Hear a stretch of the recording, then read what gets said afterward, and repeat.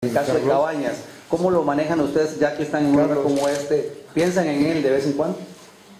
Para los dos.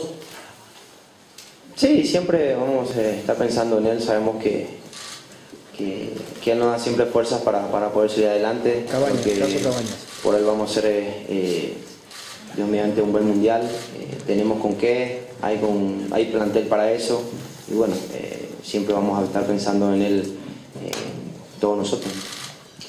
Sí, eh, lo mismo. Carlos eh, Bonet, yo creo que el mundial es. Nosotros queremos dedicarle a Cabañas, eh, una figura muy representativa del Paraguay. Para nosotros, eh, como persona y como futbolista, eh, fue muy bueno. Y bueno, eh, lo que veníamos hablando con los compañeros es eso: que jugar y darle todo el apoyo que necesita también él.